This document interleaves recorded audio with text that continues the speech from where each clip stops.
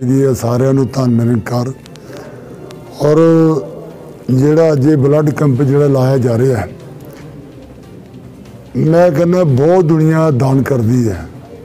ਲੇਕਿਨ ਜਿਹੜਾ ਇਹ ਦਾਨ ਹੈ ਬਲੱਡ ਦਾਨ ਕਰਨਾ ਹੈ, ਕਿਸੇ ਦੀ ਜਾਨ ਬਚਾਣੀ ਹੈ, ਔਰ ਇਹਦੇ ਨਾਲ ਦੇਖੋ, ਅੱਜ ਜ਼ਮਾਨੇ ਦੇ ਵਿੱਚ, ਦੇਸ਼ ਦੇ ਵਿੱਚ ਜਾਤ ਪਾਤ ਬਹੁਤ ਫੈਲੀ ਹੋਈ ਹੈ। ਜਦੋਂ ਇੱਥੋਂ ਬਲੱਡ ਇਕੱਠਾ ਹੋ ਕੇ ਬਲੱਡ ਬੈਂਕ 'ਚ ਜਾਣਾ ਹੈ।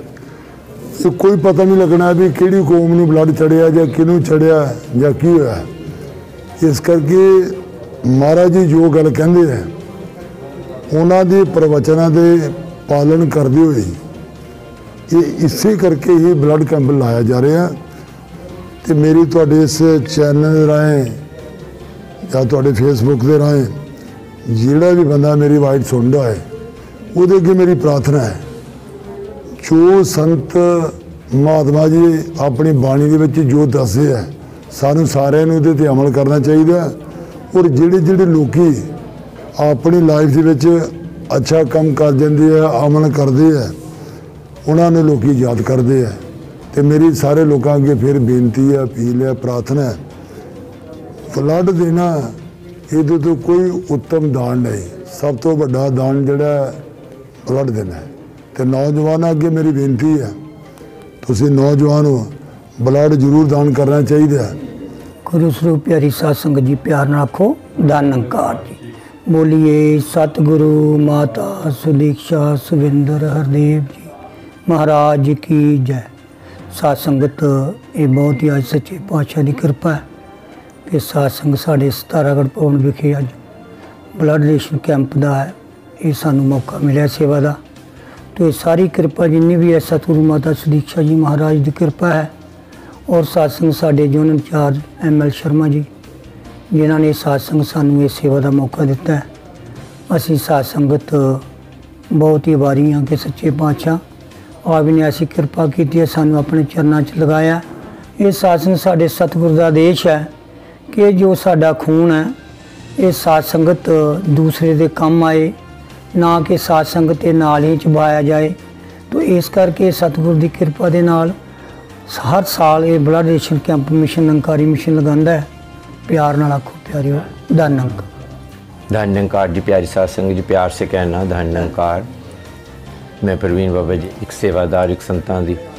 ਸਾਧ ਸੰਗਤ ਅੱਜ ਬੜਾ ਵਡਭਾਗੀ ਦਿਨ ਹੈ ਸਾਡੇ ਤਾਰਾਗੜ ਬ੍ਰਾਂਚ ਦਾ ਕਿ ਅੱਜ ਸਾਡਾ ਬਲੱਡ ਬੈਂਕ ਪਹਿਲੀ ਵਾਰੀ ਸਾਨੂੰ ਇੱਥੇ ਲੱਗ ਰਿਹਾ ਆ। ਜੋ ਸਤਿਗੁਰ ਦਾ ਹੁਕਮ ਆਇਆ, ਮਾਤਾ ਸੁਦੀਕਸ਼ਾ ਜੀ ਦੀ ਛਤਰ ਛਾਇਆ ਵਿੱਚ ਇਹ ਕੰਮ ਚੱਲ ਰਹੇ ਨੇ। ਆ ਮੀਡੀਆ ਨੂੰ ਵੀ ਪਤਾ ਹੈ ਕਿ ਇਹ ਪਿਛਲੇ ਇੱਕ ਸ਼ਖਲਾ ਚੱਲਦੀ ਆ ਰਹੀ ਹੈ। ਗੁਰਦਾਸਪੁਰ ਦੀਨਾਨਗਰ, ਅੰਮ੍ਰਿਤਸਰ, ਬਟਾਲਾ। ਉਸ ਤੋਂ ਬਾਅਦ ਇਹ ਹੁਣ ਜਿਹੜਾ ਯੂਨਿਟਸ ਹੈਗੀ ਹੈ, ਆਪਣਾ ਪਠਾਨਕੋਟ, ਉਹ ਬ੍ਰਾਂਚ ਸਾਡੀ ਜਿਹੜੀ ਹੈ, ਪਠਾਨਕੋਟ ਵਿੱਚ ਹੀ ਪੈਂਦੀ ਹੈ ਤਾ- ਤਾਰਾਗੜ੍ਹ। ਸੋ ਅੱਜ ਪਹਿਲੀ ਵਾਰ ਇੱਥੇ ਲੱਗ ਰਿਹਾ, ਬੜੇ ਬੜੇ ਪਾਗੀ ਹਾਂ ਸੀ ਮਹਾਂਪੁਰਸ਼, ਜਿੰਨੇ ਵੀ, ਜਿਹੜੇ ਵੀ ਬਲੱਡ ਦਾਨ ਕਰਨ ਆ ਰਹੇ ਨੇ, ਆਪਣਾ, ਕਿਉਂਕਿ ਖੂਨ ਦਾਨ ਇੱਕ ਮਹਾਦਾਨ ਹੈ। ਇਹਦੇ ਵਿੱਚ ਇੱਕ ਨਾ ਇਨਸਾਨ ਦੀ ਜਾਨ ਬਚ ਸਕਦੀ ਹੈ, ਕਿਸੇ ਨਾ ਕਿਸੇ ਦੀ ਜਾਨ ਬਚ ਬਚ ਸਕਦੀ ਹੈ। ਕਿਉਂਕਿ ਅੱਜ ਕੱਲ ਕੋਵਿਡ ਦਾ ਜਿਹੜਾ ਚੱਲ ਰਿਹਾ ਸੀਗਾ 19 ਦਾ ਕਰੋਨਾ ਕਰਕੇ ਲੋਕ ਇੱਕ ਬਲੱਡ ਜਿਹੜੇ ਨੇ ਡੋਨੇਸ਼ਨਸ ਬੰਦ ਹੋ ਰਹੀ ਸੀ। ਲੇਕਿਨ ਇਹ ਨੰਕਾਰੀ ਮਿਸ਼ਨ ਜੋ ਹੈ, ਉਹ ਕੰਟੀਨਿਊਸ ਚੱਲ ਰਿਹਾ ਵਾ। ਉਹਨਾਂ ਮਾਤਾ ਜੀ ਦਾ ਹੁਕਮ ਸੀ ਕਿ ਆਪ ਜੀ ਨੇ ਇਹ ਬਲੱਡ ਬੈਂਕ ਆਪਣਾ ਜਿਹੜੇ ਲਗਾਣੇ ਨੇ ਔਰ ਬਲੱਡ ਬੈਂਕ ਦੇਣ ਵਿੱਚ ਆਪਣਾ ਬਲੱਡ ਭੇਜਣਾ ਹੈ। ਕਿਉਂਕਿ ਕਈ ਜਗ੍ਹਾ ਤੇ ਬਲੱਡ ਬੈਂਕ ਦੇ ਵਿੱਚ ਖੂਨ ਮਿਲ ਨਹੀਂ ਸੀ ਰਿਹਾ। ਕਿਉਂਕਿ ਅੱਜ ਕੱਲ੍ਹ ਨੌਜਵਾਨ ਜਿਹੜੇ ਨੇ, ਉਹ ਵੀ ਪਿੱਛੇ ਹੋ ਰਹੇ ਨੇ। ਨੌਜਵਾਨਾਂ ਨੂੰ ਇਹ ਹਦਾਇਤ ਦਿੱਤੀ ਜਾਂਦੀ ਹੈ ਕਿ ਬਲੱਡ ਦਿੱਤਾ ਜਾਵੇ, ਕਿਸੇ ਦੀ ਜਾਨ ਬਚ ਸਕਦੀ ਹੈ। ਔਰ ਇਸ ਇਹ ਮਹਾ, ਇਹ ਮਹਾਦਾਨ ਹੈ। ਔਰ ਸਾਡੇ ਸਤਿਗੁਰ ਦਾ ਤੇ ਇਹੀ ਹੁਕਮ ਆਇਆ ਸੀਗਾ ਕਿ ਨ- ਇਹ ਖੂਨ ਜਿਹੜਾ ਵਾ, ਉਹ ਨਾਲੀਆਂ 'ਚ ਨਾ ਬਵੇ, ਨਾੜੀਆਂ 'ਚ ਬਵੇ। ਇਸ ਕਰਕੇ ਉਸ ਹੁਕਮ ਦੇ ਨਾਲ ਹੀ ਉਸ ਉਸ ਉਸ ਸੰਦੇਸ਼ ਨੂੰ ਲੈ ਕੇ, ਉਸ ਸੰਦੇਸ਼ ਨੂੰ ਲੈ ਕੇ ਸਾਡੇ ਨੰਕਾਰੀ ਮਿਸ਼ਨ ਚੱਲ ਰਿਹਾ ਹੈ। ਕਿਉਂਕਿ ਇਹ ਸਤਗੁਰ ਇਨਸਾਨ ਦੇ ਕੰਮ ਇਨਸਾਨ ਹੀ ਆਂਦਾ ਹੈ, ਇਨਸਾਨ ਦੇ ਇਨਸਾਨ ਹੀ ਕੰਮ ਆ ਸਕਦਾ ਹੈ, ਸੋ ਇਹ ਬਲੱਡ ਬੈਂਕ ਇਸ ਕਰਕੇ ਲਗਾਏ ਜਾਂਦੇ ਨੇ ਸੰਤਾਂ ਦੀ ਸੇਵਾ ਵਾਸਤੇ, ਇਸ ਸੰਸਾਰ ਦੀ ਸੇਵਾ ਵਾਸਤੇ। ਪਿਆਰ ਸਾਧ ਸੰਗਤ ਜੀ, ਪਿਆਰ ਸੇ ਕਹਿਣਾ ਦਾਨ ਸਾਧ ਸੰਗਤ ਜੀ, ਪਿਆਰ ਸੇ ਬੋਲਣਾ ਧੰਨ ਅੰਕਾਰ ਜੀ।